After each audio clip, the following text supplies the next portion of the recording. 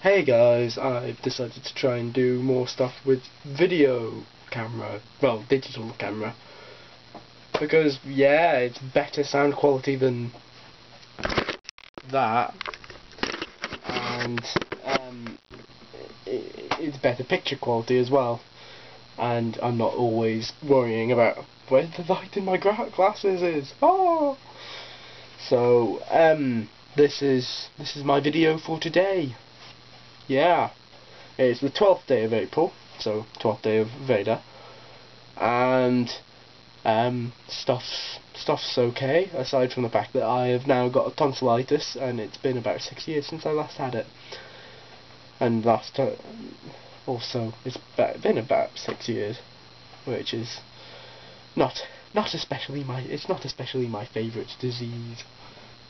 Do people have favourite diseases? Because I, I, I don't. No, no, I don't have a favourite disease. That is stupid. Um, yeah. So, the, um, yeah, that's, that's what I'm, that's pretty much everything.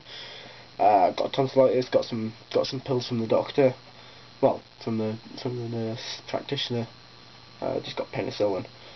So, yeah, that's, um, that's everything yeah.